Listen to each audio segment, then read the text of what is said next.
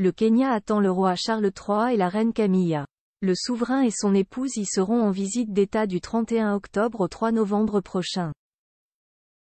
Mais avant que le couple royal britannique n'arrive, c'est une autre tête couronnée européenne qui s'est envolée pour ce pays d'Afrique de l'Est, membre du Commonwealth.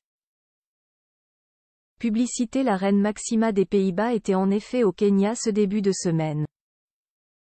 À peine rentrée d'une visite d'État en Afrique du Sud avec celui-ci, la femme du roi Willem-Alexander a atterri, ce lundi 23 octobre 2023, à l'aéroport international de Kisumu, troisième plus grande ville du pays.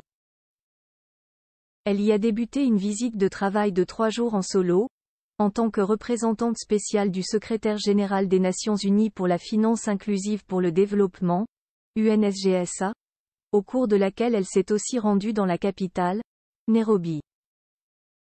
Maxima a rencontré le président kényan et plusieurs de ses ministres comme elle en a l'habitude pour ce genre de déplacement où elle vient parler de divers aspects de l'inclusion financière, notamment la santé financière ou la finance verte inclusive.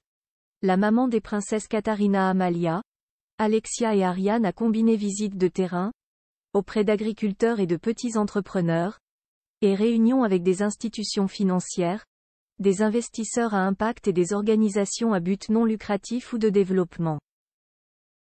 Elle s'est également entretenue avec le gouverneur de la Banque centrale du Kenya Kamo Sug et le président de la République William Samoei Ruto, ainsi que plusieurs de ses ministres.